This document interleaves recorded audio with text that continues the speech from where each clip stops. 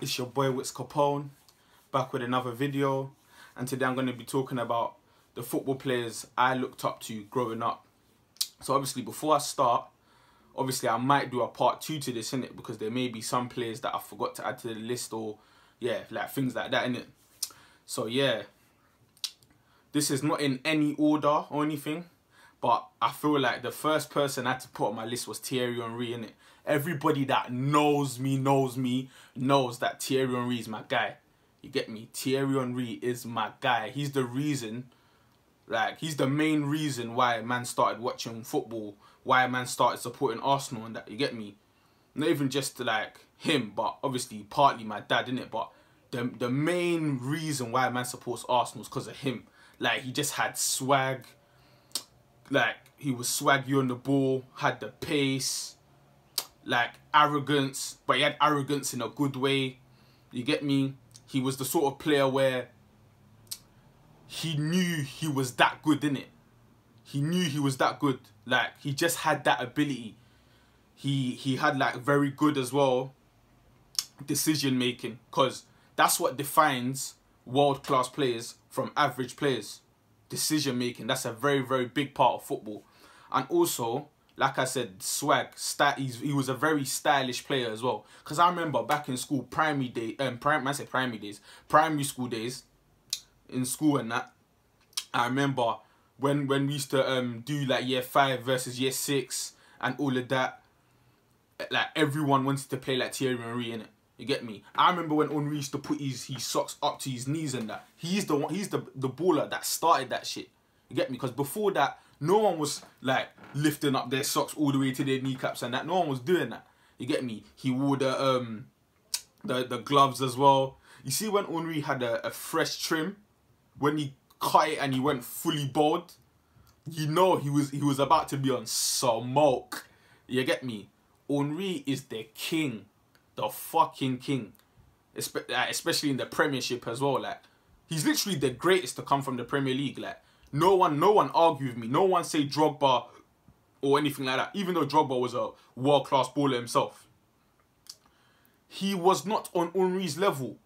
He simply wasn't. Even Drogba, they asked Drogba in an interview, there was like, rah, like, you and Henry, who do you think is better in it? And he was like, nah, I'll be real. I'm a world class player, but Thierry Henry is better than me. He just said it live. Oh, you get me? Because he knew what it was. Even um, it got that like Henry was that good that even Van Nistelrooy that used to play for uh, Man United was like, oh, I used to check every game to see if like Thierry Henry scored, and if he scored, I would go home fuming, because Henry was just that good. He's won four golden boots in the Premier League for a reason. Not even Sergio Aguero has done that. And Aguero's elite as well. So that's telling you a lot, like how just how good Thierry Henry was. And he didn't just score against small teams, because that's false. He scored against Chelsea many times. He scored against Man United many times. He scored against Tottenham many times. He scored against Liverpool. Even that famous run, he he uh, put Jamie Carragher on his bum. Scored the um literally first time we beat Real Madrid at the Bernabeu. He scored. You get me? So yeah, man, like Henry carried us, and that's someone that made me like honestly appreciate football for what it is. You get me? So moving on, another person that made me really, really appreciate football as well is man like R9, Brazilian Ronaldo. Imagine, yeah, how good he was before he got injured. And you know what's so mad? He was injured and he was still that good. So imagine if he didn't even have the injury in the first place, how good he would be. It would be like it would be ridiculous. You get me? I just feel like he was a like one of the big spots in that famous um, Brazil team in the in the mid two thousands. You get me with Kaká, Dinho, Roberto Carlos, Adriano, um, flipping Juan at centre back. Yeah, like these sort of like revolutionary players. Like, do you get what I'm trying to say? And he was always consistent everywhere he went. At Barcelona, consistent. At um, Real Madrid, consistent. Um, AC Milan, he was coming to his end of his career. He was still badding up. he was still banging nets, even when he was declining. You get me? What a player, man. Even when he played at um, let me not forget that game when he scored a hat trick at Old Trafford, and United fans clapped him off and that because he was just that good. It's as simple as that. You get me? So yeah, the next player I can see I looked up to you was man like Ronaldinho.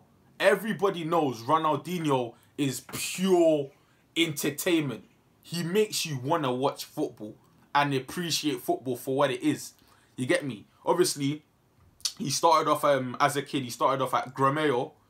Then after um Gremio, he went to um Paris Saint Germain, played alongside Pochettino, Makelele, um, Okocha, and that's already building up your name. Like, do you know what I mean? As in like great players and that.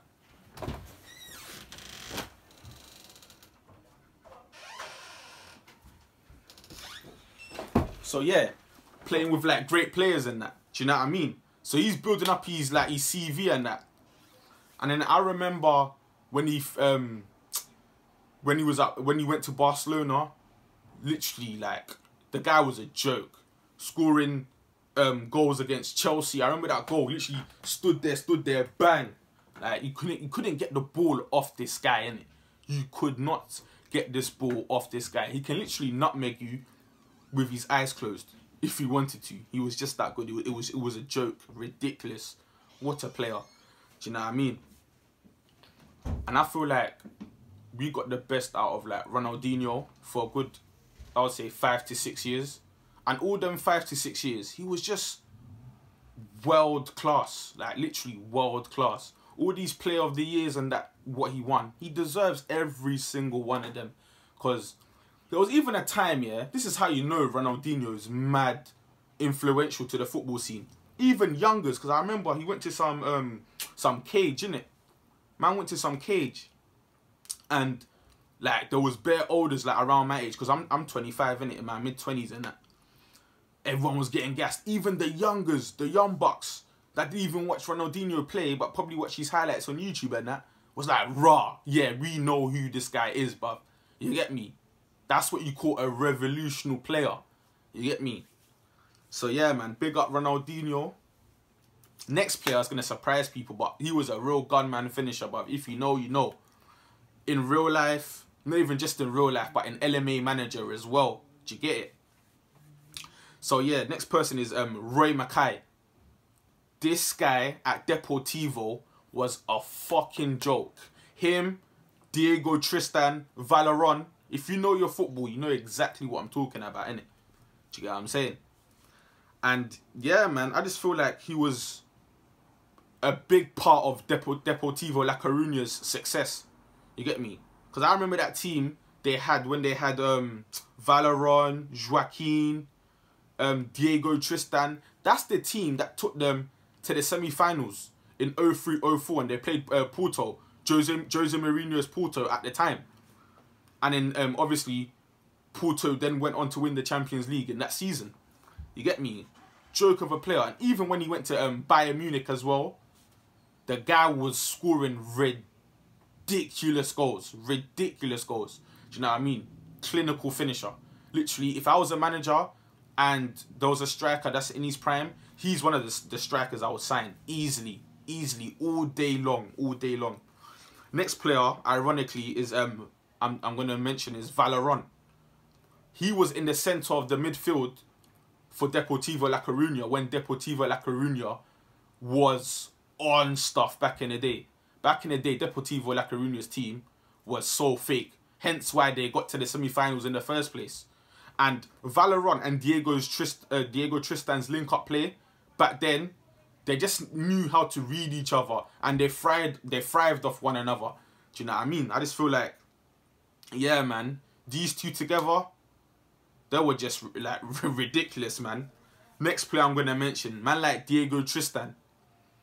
Yeah, like literally again, Diego Tristan used to like, ah, oh, them, especially in his prime as well. Diego Tristan in his prime was a joke. When Diego Tristan went to West Ham, by then he was finished. But Diego Tristan at the, um, Deportivo, gunman finisher. Not many strikers could chat to him round them times. Not many strikers. I'm telling you that for free. And now I'm gonna kind of start with my defenders a little bit.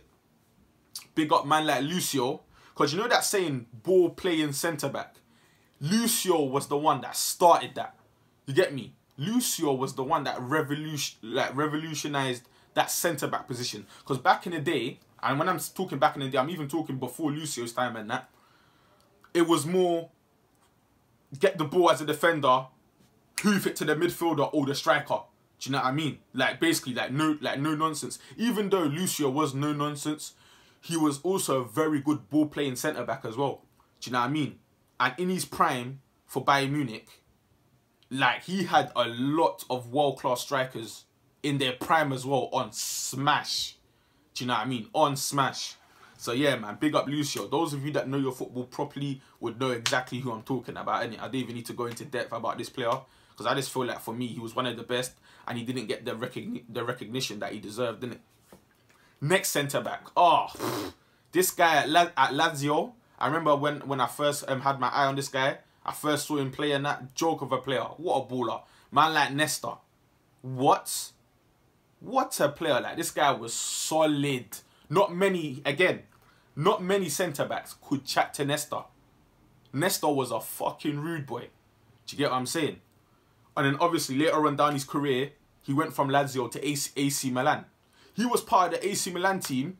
I don't know if he was playing, but I know he was definitely part of the AC Milan team that won the Champions League. You get me?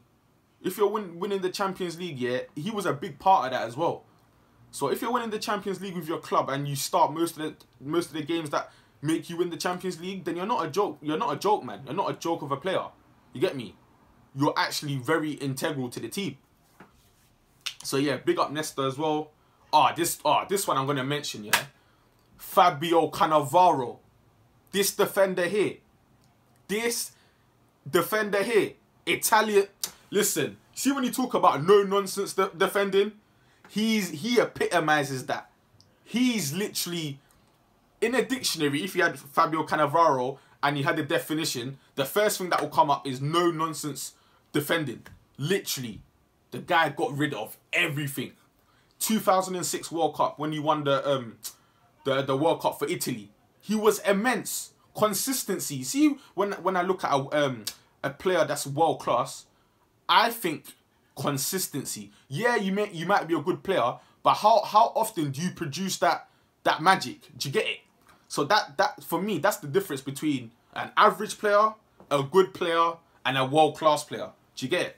So yeah, man, he literally won Italy that World Cup because defensively, he literally knew what he was doing.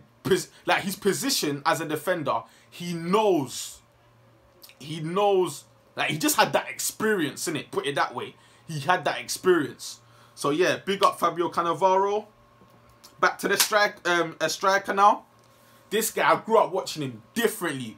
I remember um primary school days yeah when I would wake up like early in the morning like let's say 5:30 6 a.m. in the morning if you know about Pierre Van Hooijdonk here Van Hooijdonk that played for Feyenoord yeah and he played for like other teams like Fenerbahce and that as well. But I watched him when he was at Feyenoord.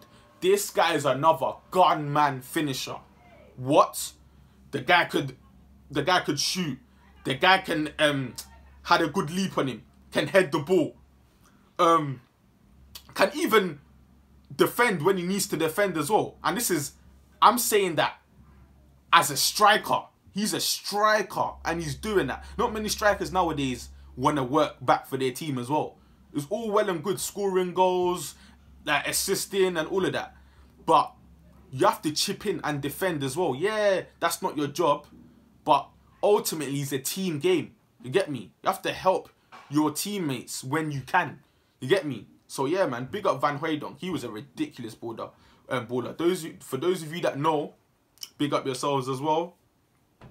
Then I the next the next guy I'm about to mention that I looked up to, man like Alvaro Recoba. You see Recoba? Joke. Fucking joke. See when it came to free kicks, yeah? When it when it came to free kicks, this guy had a like literally it was disgusting. Like the guy will bang it bins. Like most times he had free kicks, he would always bang it, and he, and his accuracy in his shots was a joke as well. Do you know what I mean? So, yeah, man, big up Recoba. I remember when he had his um, long hair. He used to wear it with, a black headband and that. Those were the days when Inter Milan was Inter Milan. Obviously, they're kind of like working their, their way up now. Do you know what I mean? But they're not, let's be real, they're not what they used to be. When it was Golacio, like Golazo days. I remember I used to watch it on Channel 4, Channel 5. Yeah, I think it was Channel 4. That guy, the, the bold, the, the, the, um, the, the bold guy, and you be holding the newspaper and that, like having like a croissant or something, but I remember them days. That's when Serie A was at its peak, when they had man like Del Piero, Trezeguet, fucking, um, I don't know, who can I even mention? In people and Filippo Inzaghi, um, Nesta, um, man like fucking Di Natale. Oh, Di Natale's another joke as well. What a fucking player. What a fucking player. So yeah, um, moving on. Big up Alvaro um Recoba. But yeah, moving on. Adriano. Do you know how good this guy was? Like, the guy had 99 shot power on Pro 6 for a fucking reason. This guy was ridiculous. Had a gift. You see when they say there's, there's players that have to work hard to get um to become what they are. And then there's players that had a natural gift. He was one of them players that had a natural gift. Do you know what I'm saying?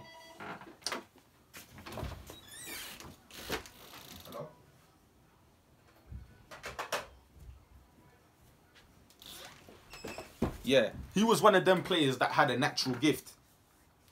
Do you know what I'm saying? But unfortunately, like some players, something happens to them, they go down the wrong path, or like someone like pivotal to them in their family dies, they just go off the rails, and then the rest is history, innit? This one here, you get me? This one here, man like Mark Viduka, Australian and that, but he was of like um Croatian descent as well. Do you know what I'm saying? So yeah, man like man like Viduka, I used to watch him when he was at Leeds, Leeds United and that. And these times here, Leeds United were a proper good team. They had man like Harry Kewell, Alan Smith, Rio Ferdinand at a point before he got his move to Man United. Yeah, man, the guy was just a clutch finisher. And he didn't just score in small games. He also scored in big games as well to me, Mark Viduka was so underrated. Me personally, in the Premier League, I think he's one of the best Premier League strikers of all time. And yes, that's a big statement, I know, but this guy was, oh, this guy was exceptional, man. An exceptional football player.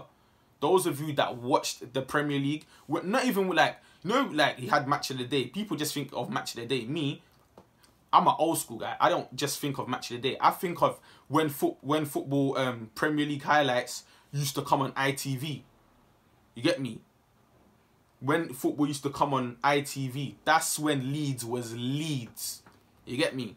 When they used to um, play at Elland Road. Obviously, they still play at Elland Road now, but back then, the Allen, the man said the Allen, the atmosphere back then at Elland Road was far superior to what it is now, innit?